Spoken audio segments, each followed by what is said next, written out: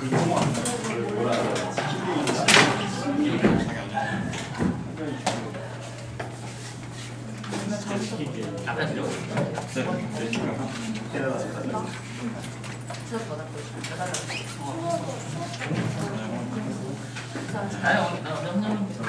the last class, uh, we discussed about the factors which affect the exchange rates and the demand. We also discussed just briefly about the carry trade. So just let's review, discuss with your partner what is the carry trade.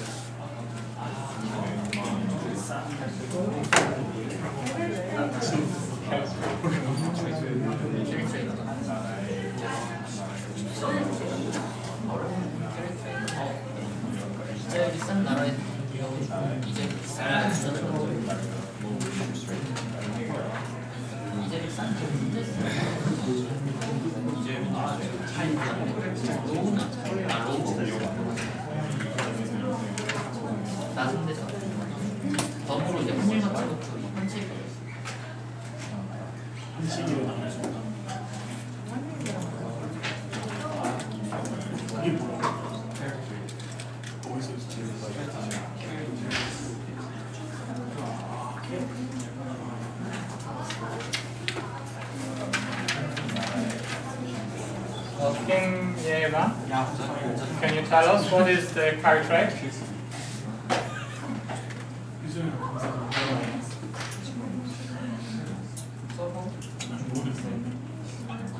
it the process change? Yes. What kind of trade do people make? It's a trade. Buying and trade is buying and selling. What kind of trade is it? 저금리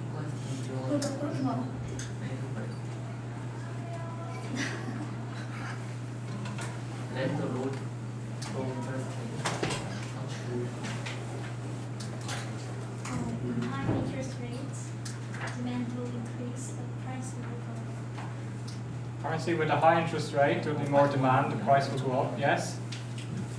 How does it work, the carry trade? If I want to do a carry trade, what should I do?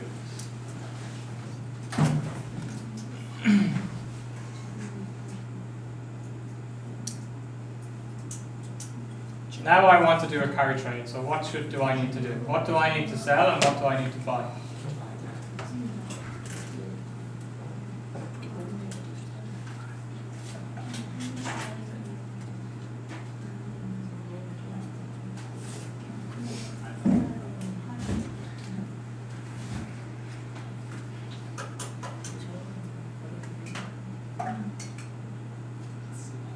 Put correct here we have a high interest rate currency or low interest rate currency. Put the correct one in the blank.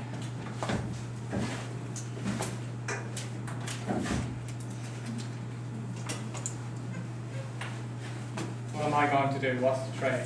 Number one, get a loan. High interest rate currency or low interest rate currency? Low interest High or low? Low. Sell. Sell the low interest rate currency or the high interest rate currency?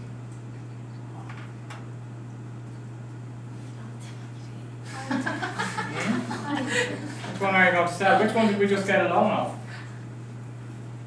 Do you want to keep a high interest rate currency or keep a low interest rate currency? So let's go to buy. What are you going to buy? The high interest rate currency or the low interest rate currency? High interest rate. I'm asking you.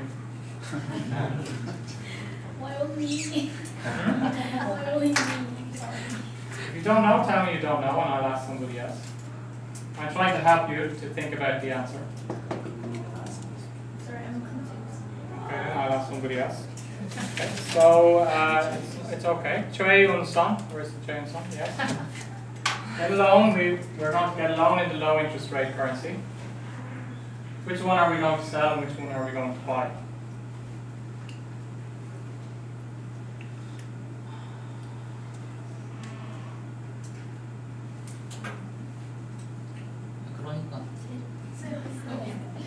Which one do you want to keep?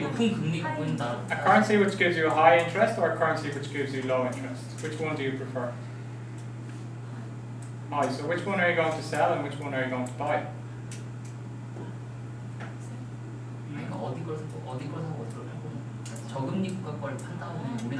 Do you, do you prefer green bicycles or pink bicycles? which do you prefer, green bicycles or pink bicycles? and uh, Are you going to buy or sell a yellow bicycle. If you like yellow bicycles and you don't like pink bicycles, which one are you going to buy and which one are you going to sell?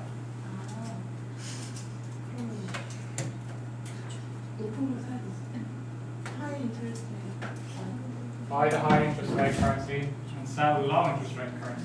Okay? So at the end of the year, when we change this high interest rate currency back, do we want the exchange rate to change much or stay the same? Is anybody change? Do we want the exchange rate to change or do we want it to stay the same?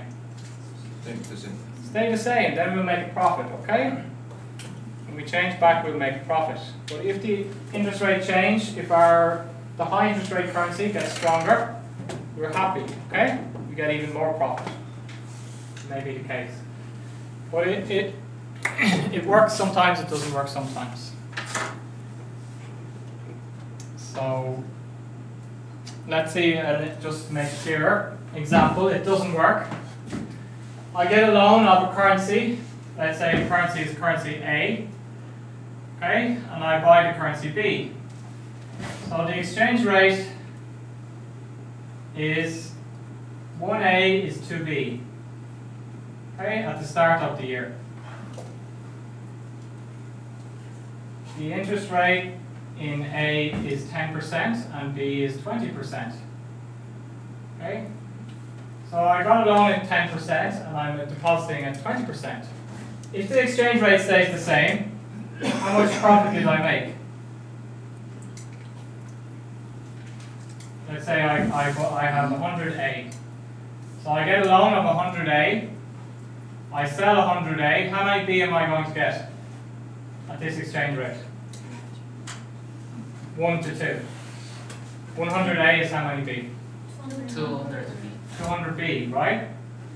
Then I get the 20% interest. How much money will I have at the end of the year? 240.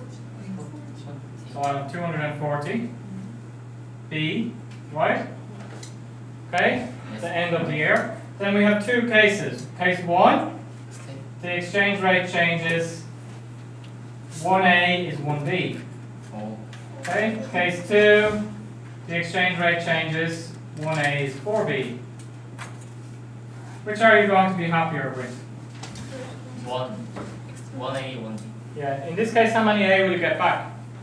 Two hundred four. 240. What was your profit? 어. One hundred fifty.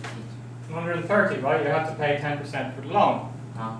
Okay, so your profit is going to be here. At the end of the year, you change your 240B, you're going to get 240A. So in case one, it's going to be 240A minus 110, it's going to be 138. Did you make a nice profit? Yes. Right, what about in this case? 1A goes to 4B. Number two. Six. Uh, How many A are you going to get back here? Six. Uh, 60. How many A did you spend at the start of the year? One How much money did you lose? Minus. Minus. fifty. Okay, so that's the risk of the carry trade. Okay, ah. depends on the exchange rate. If the exchange rate changes at the end of the year, my currency gets stronger, the currency I bought gets stronger, I'm happy. Okay, then I get more money. But if the currency I bought gets very weak, then I'm going, I can lose money. So that's the risk you take. So that's why Carry trade is more popular when the exchange rate is stable, not changing much. There's not much risk in the world. The world economy is very stable and the exchange rate is not changing much. So, do you have any questions about carry trade?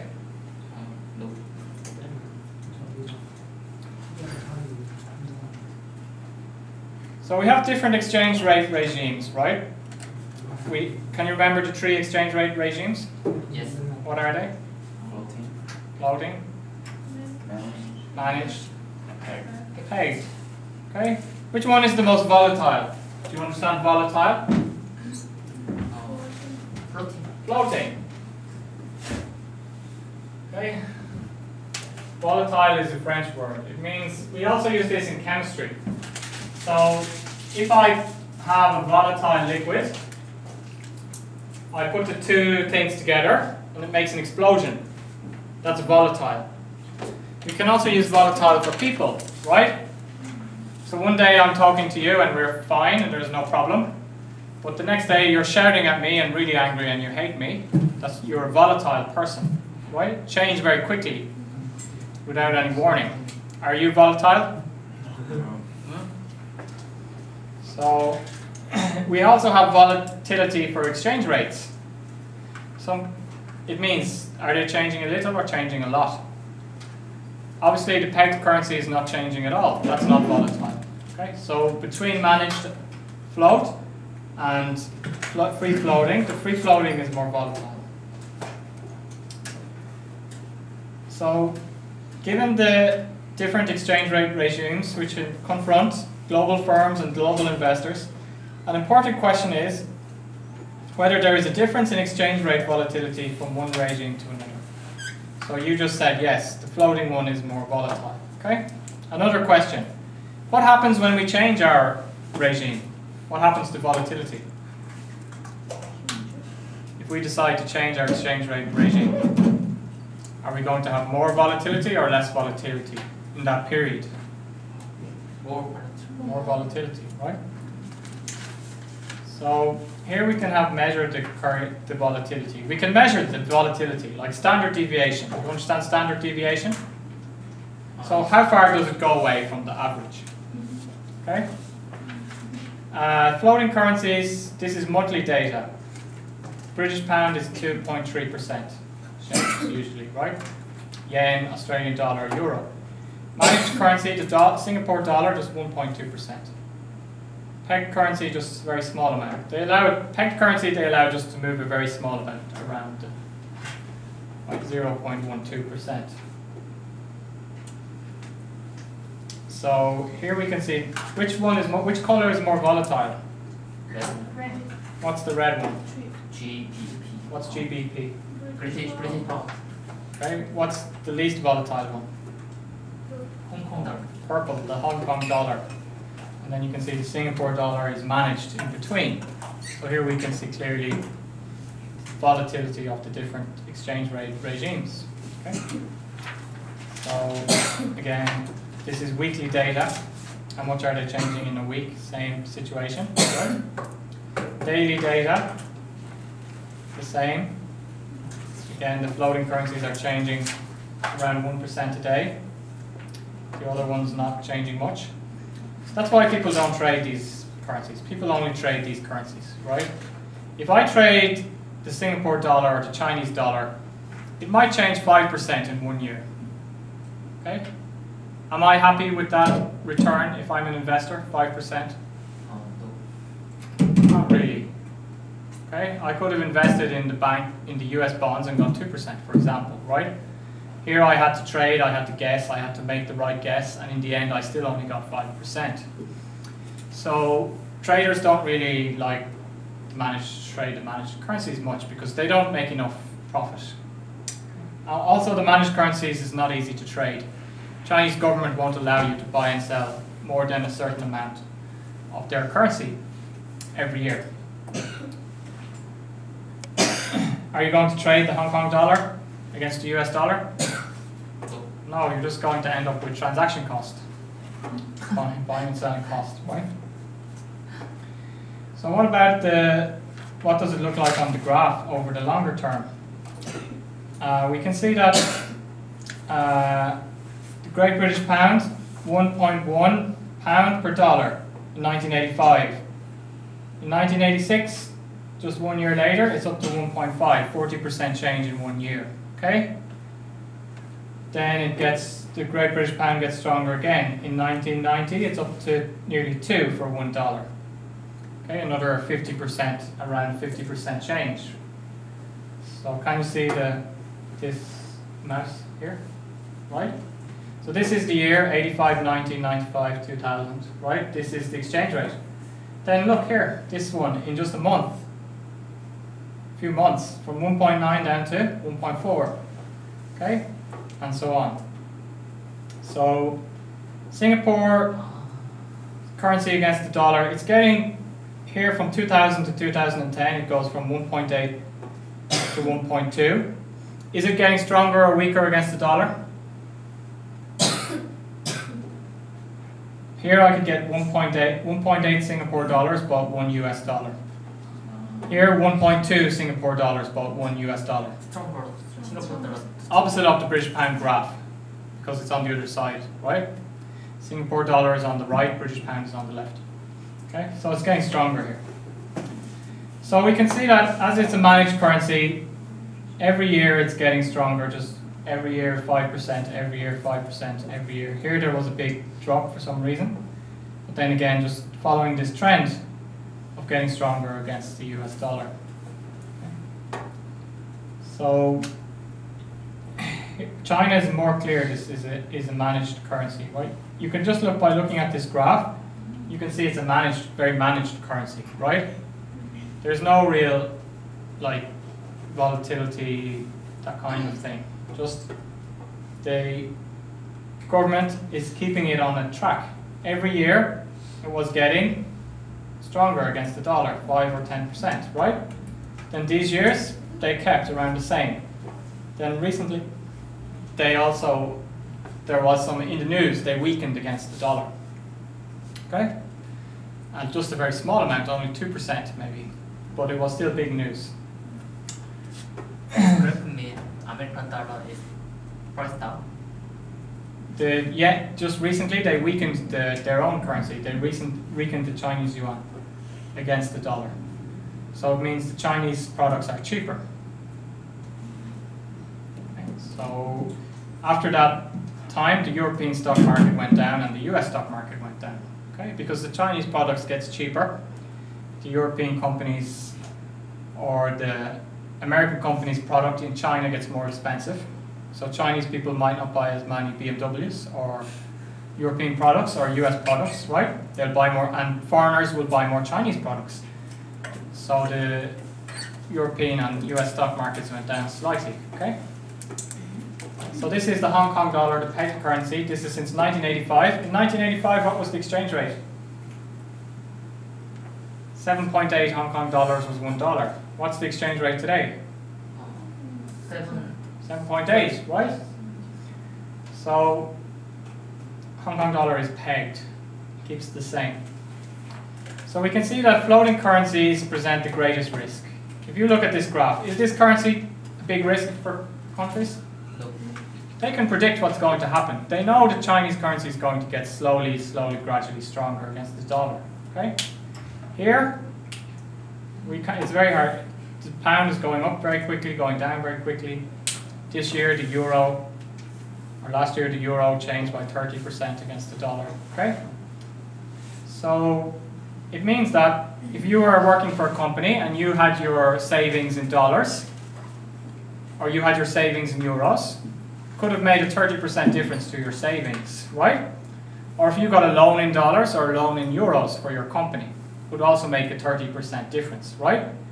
If the euro got 30% weaker last year, would you prefer to have gotten a loan in euros or in dollars last year if you worked in the company?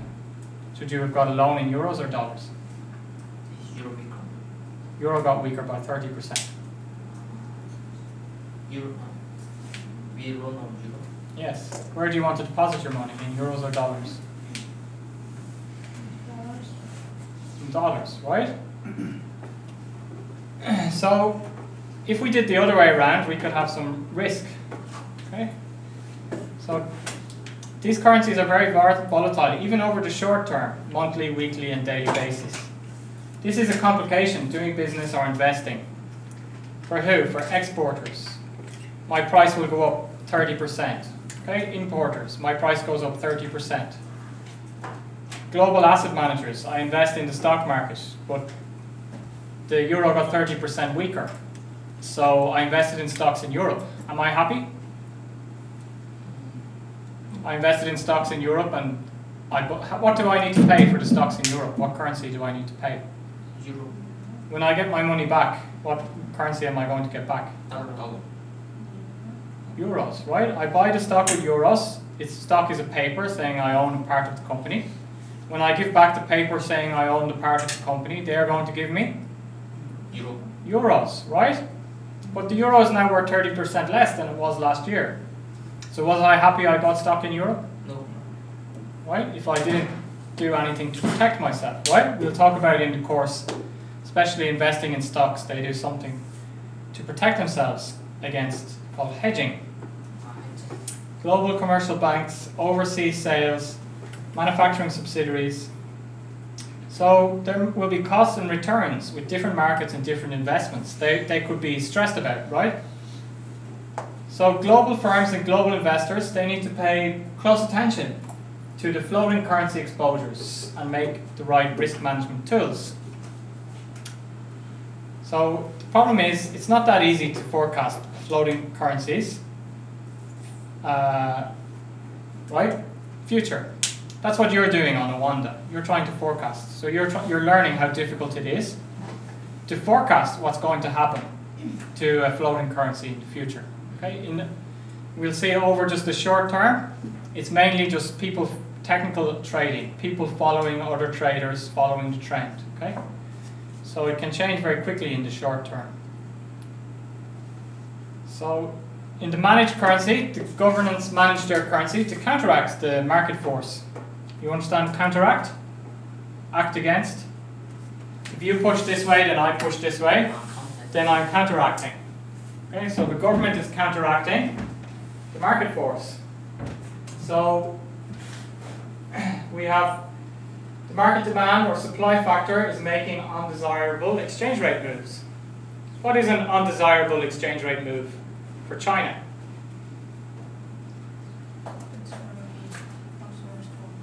Yes, it doesn't want its currency to become very strong. Why not?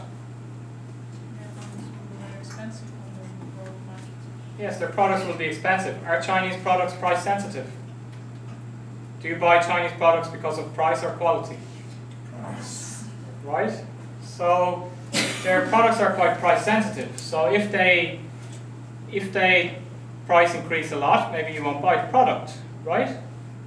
So they need to keep there to work against undesirable exchange rate move of getting much stronger. Okay, so they intervene. So they do this as a monetary policy target to achieve inflation target. Also Singapore used this way. So these currencies are not as volatile as floating currencies. Okay, they might manage the exchange rate on a regular basis, right? Or just when they want to. So we already discussed about managing, buying or selling the foreign currency, right? So uh, we can we talked about buying or selling the currency or changing the interest rates to to affect demand and capital flow in the last class. So let's just review what does China have to do? If there's a lot of demand, everybody wants to buy the Chinese yuan. So the Chinese yuan is getting too strong. What does the Chinese government need to do? To increase the supply. How are they going to increase the supply? Yeah, printing money or just selling, selling their yuan against the dollar, right? We'll talk about later. That can cause inflation, but they have other ways to control inflation in China, like managing the supply of credit, right? Stopping the loans from the banks. Uh, recently, Chi- China has reduced its interest rate five times this year. Okay? So it's also tried to reduce its interest rate to uh, weaken currency. So and stimulate the economy. So what about the peg regime? Under the peg regime, governments link their currency to a key international currency. mostly the US dollar, okay? Uh, or the euro. Some countries in Africa use the euro. Or, or some mar- market basket of currencies. We saw China and Singapore. They make a basket of currencies. Okay, it means they're not linked to just one currency. The, bas- the basket is normally it's normally based on who you, who do you trade with. Okay, so if I'm in Denmark and I have a peg to a basket of currencies, what currency is going to be the biggest one in the basket? I'm in Denmark, the euro, right? Probably I do 80% of my trade with the euro area. Okay? Then what's the next currency that's going to be in the basket? British pound. Dollar. Probably I'll do more trade with the US than Britain, okay? If, and then probably the British pound, right? Then Chinese currency or Japanese currency, right? So we won't worry too much about the small ones. We might only have four, three or four currency, big currencies in the basket, okay? And as those currencies change, we're going to change our currency too. So why do governments peg their currencies? A peg is seen as a necessary condition to promote confidence in the currency and in the country and promote economic growth. So we talked about Hong Kong having uh, pegging their currency and Saudi Arabia, right? Denmark and, and Switzerland pegging to the euro before, okay? So if I invest in Hong Kong, do- if I want to invest in, in Hong Kong in stocks and I buy Hong Kong dollars, can I be confident that my I can get back the same amount? The Hong Kong dollar is not going to change a lot, Yes, we won't change. right? Especially if I'm an American investor or I deal in dollars, right? I know that the Hong Kong dollar will still be the same. I can convert to the same as US dollars. Okay, so it's almost like investing in the US. Okay, so I have this kind of confidence. So I think by giving people this confidence of basically stability, do you understand stability? Then the economy can grow better because people are confident. We can encourage foreign direct investment or long-term capital inflow. So I could invest, buy a factory in Hong Kong, invest there for 10 years, make a 10-year investment in Hong Kong. Would I make? Would people be as quick to make a 10-year investment in Korea? What could happen in Korea in 10 years? Ten years. Let's say I want to invest my money for 10 years and I can't touch it. I buy a 10-year bond in a company. What could happen in Korea that probably wouldn't happen in Hong Kong? War. War or some problem, right? What could happen to the Korean won that wouldn't happen to the Hong Kong dollar? Korean won could get very weak, right? So there's one way around this, that is when I lend money to Korean companies, I lend to them dollars, right? Or another way around that is I don't I will look at later some other way to manage the risk, right? But just we can get the idea that the peg currency is a little bit more stable. Okay? If we peg the currency at, a, at an undervalued currency, this may uh, help our export sector. So this is important to understand about Europe. Because Europe, in Europe we all have pegged currencies. So Europe is the most biggest pegged currency area. Do you know Europe? Yes. This is my picture of Europe. I put Ireland. So Europe is a circle. So we have a lot of different countries in Europe, right? They all have, they all have, they all are different countries, but they all use the euro. And at the start of the euro, say Italy, they had the lira, okay? And then they, they all, everybody was matched to Germany here in the center. So Germany is in the center of Europe, right? They have the Deutschmark. Do you know the Deutschmark? Yes. So they had the Deutschmark at the start. So every currency was pegged at a certain level, right? And let's say in Ireland we had the pound, Irish pound before, so 80 cents was equals to one euro, right? In Germany, let's say two Deutschmark is equals to one euro, right? In Italy, 1,000 lira is equals to one euro. So all of the countries changed their currency like this in the year 2000. But sometimes one currency could be undervalued against the other currencies, right? So some people says that Germany's currency is undervalued against the other currency, so they have some advantage. So when they set the exchange rate, fixed exchange rate, the German one was too cheap. And then in the euro, what has happened since then is that the wages or labor, do you understand labor cost? Yes. Labor cost in Germany is almost the same as in 2000 when the euro started. Not much difference, right? Same. In Italy and Greece, Spain, Portugal, higher labor, much higher. Say 20% higher labor cost. So nowadays, what does that mean? Which currency is undervalued? Germany against Italy or Italy against Germany? Which one is undervalued? Easier for their export sector.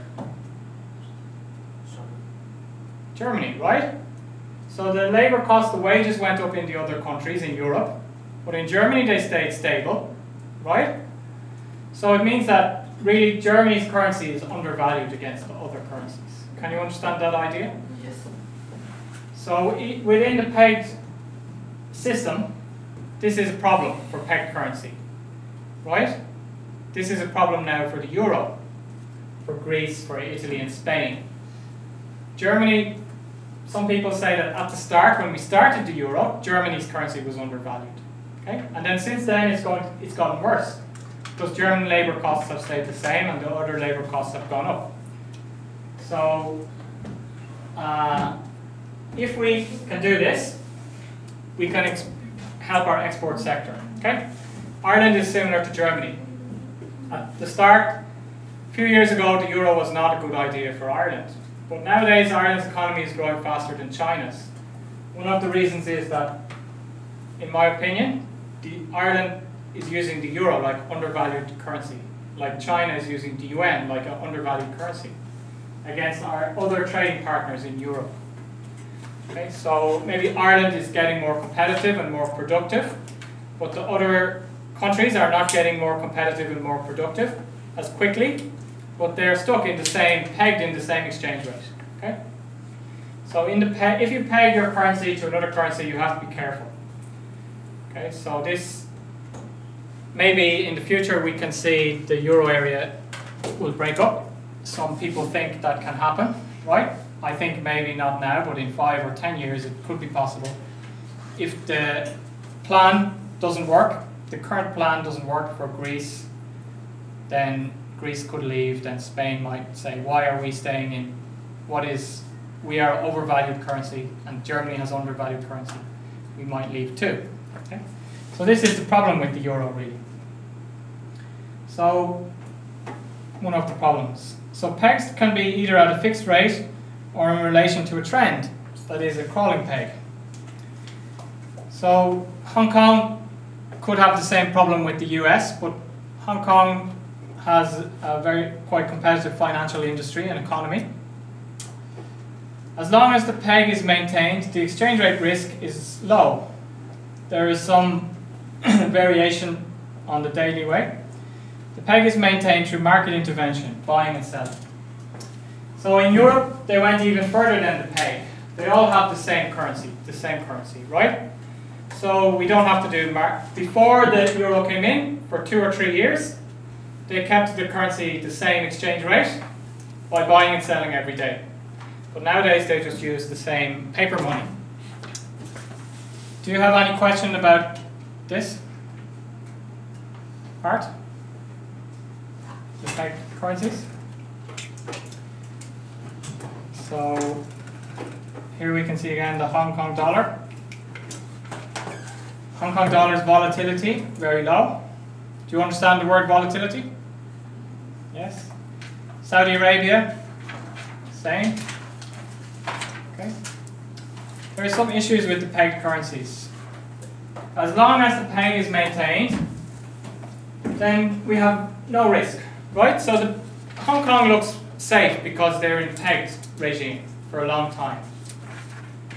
Uh, nowadays, let's say France or Germany looks safe, they're in the pegged regime. But there is a problem for an even bigger risk when governments decide to abandon the peg for another foreign currency, okay, or adjust to a new peg. So this is was during the summer there was a lot of news about Europe because there's a big risk if Greece leaves the euro, they abandon the peg, then this is enormous risk, okay? It's bigger risk than the vol normal volatility of the exchange rate market, okay? If what would happen? Can anybody tell me if Greece leaves the euro? Why are people worried?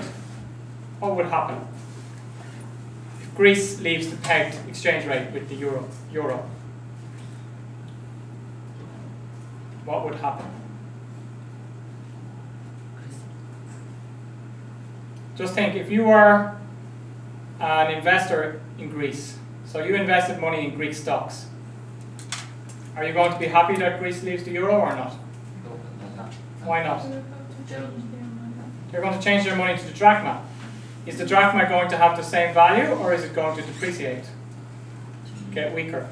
Weaker, Much weaker or a little bit weaker? much, much weaker. A lot weaker. Okay, so they're going to change, you're going to get the money for your stocks back in drachma. Do you want drachma? So, Not really, right? It's going to be very weak. What about if you're uh, selling stuff to the Greek company? Okay, and then they, they, they want to pay you back in drachma after one year, right? But drachma is not worth much. Okay, so you can see the problems here for investors and traders. So the problem is, even before that happens, if people have some doubt about that, then they have some negative expectation, then they stop doing business with the Greek companies, or they stop investing in Greek shares, right? The Greek stock market went down a lot, okay? So, if we say if a country is thinking or looks like it's going to leave the pegged regime, can cause a big problem. Okay? So these changes can occur by an orderly change adopted by the government. So China, the government makes a long-term plan and very controlled way to leave. Then that's better. Or the peg could be attacked by the market and suddenly the government changes.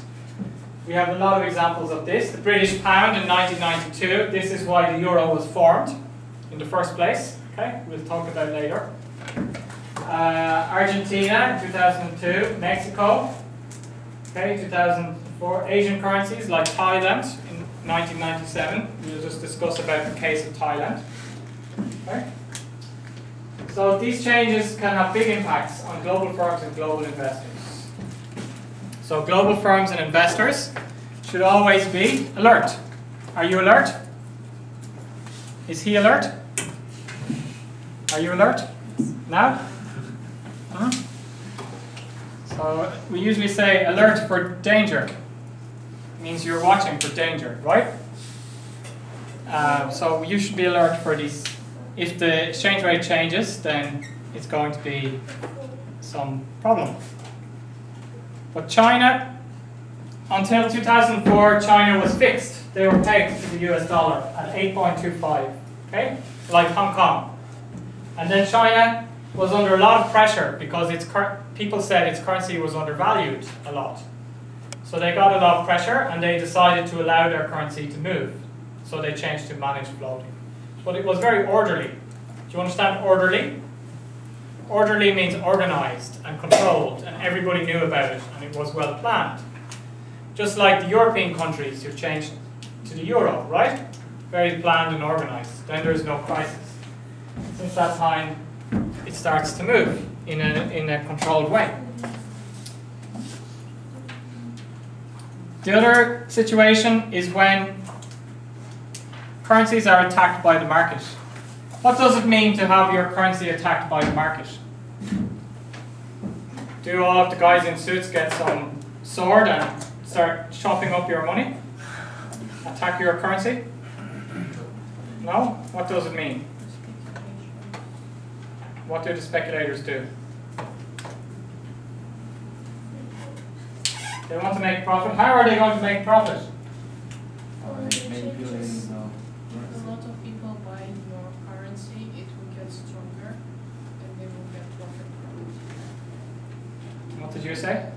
uh, manipulating the currency. They want to manipulate the currency. In the, what would be in a pegged exchange rate? What do they usually want to do? Well, let's say in the case of uh, the UK, the UK is, is pegged to the Deutsche Mark, right? Say one pound is equals to four Deutschmark, just for example. Okay? And it's pegged, it's kept the same, right?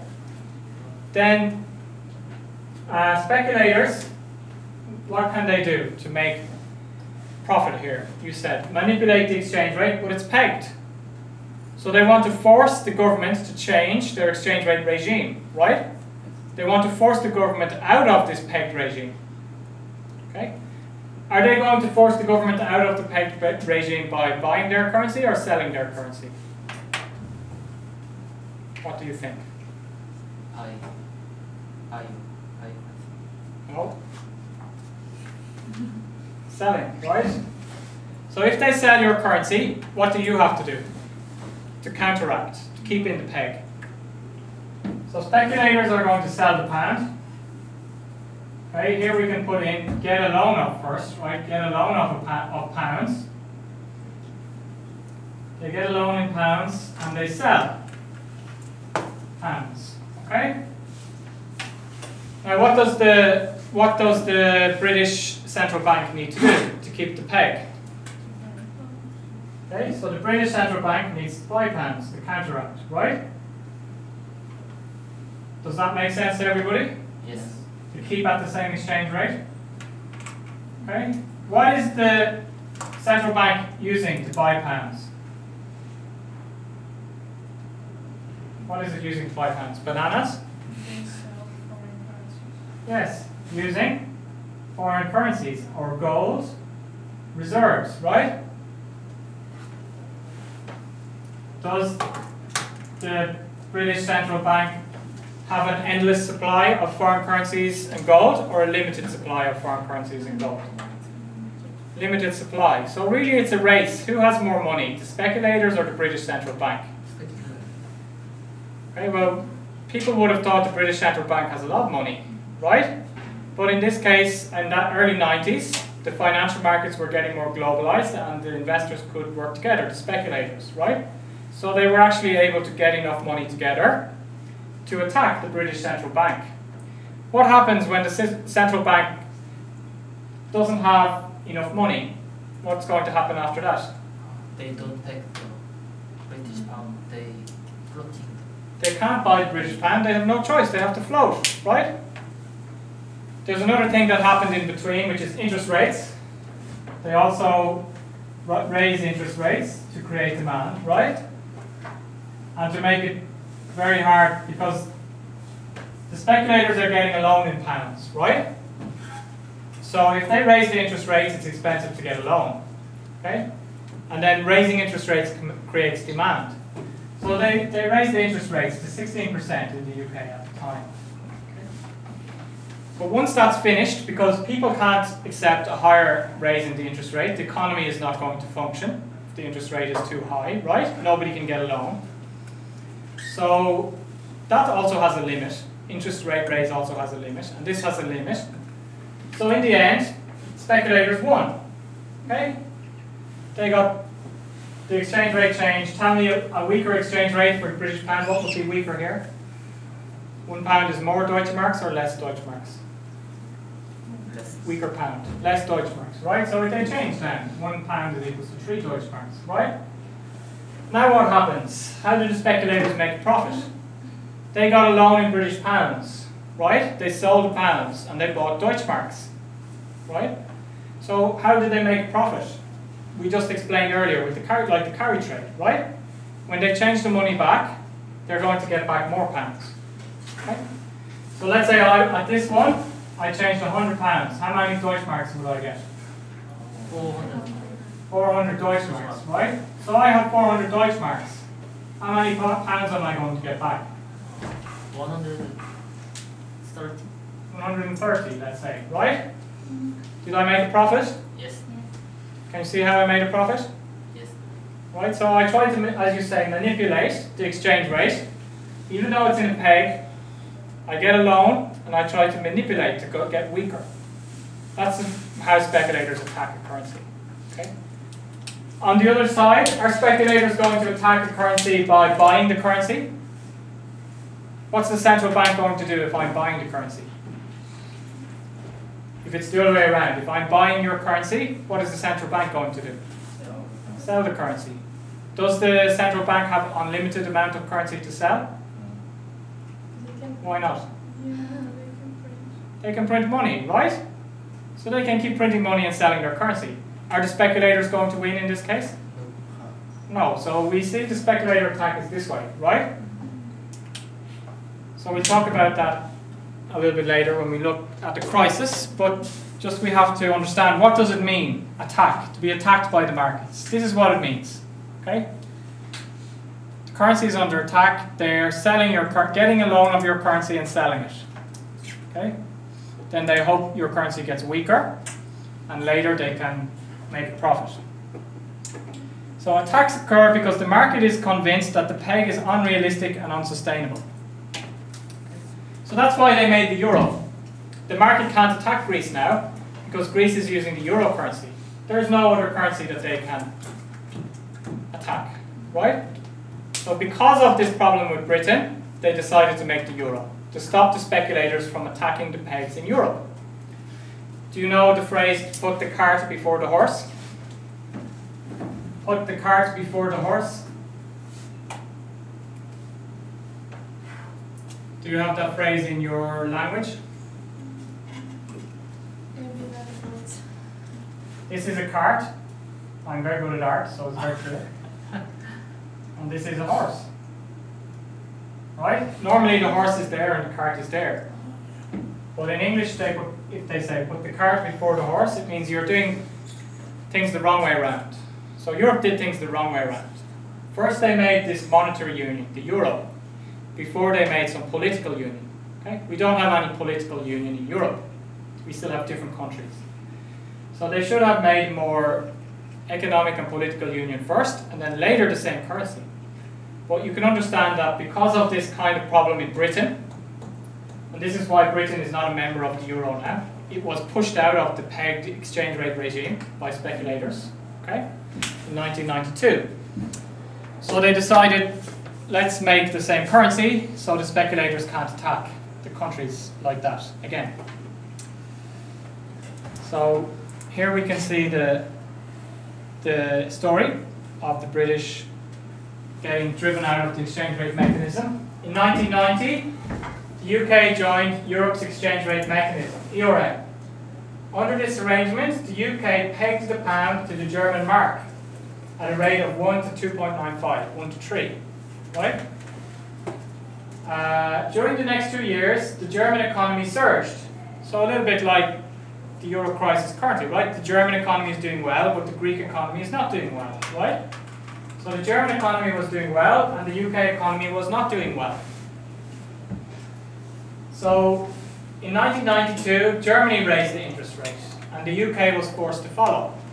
So in the pegged exchange rate regime, you have to follow with the interest rate change.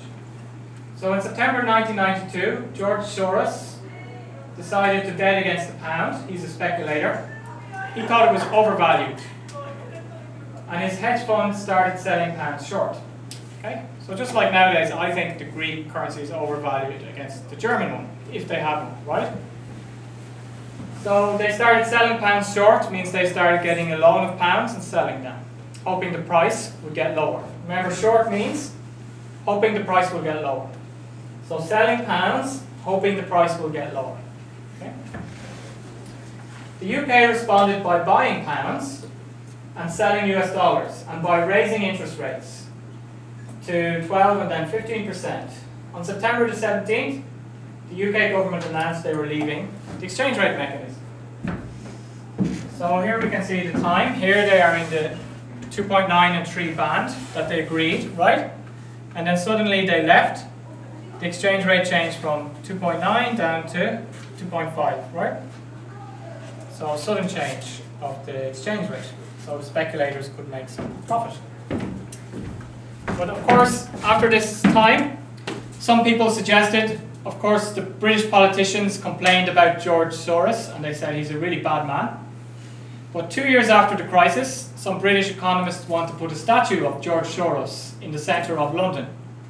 Why do you think that was? What happened to the British economy after they devalued their currency?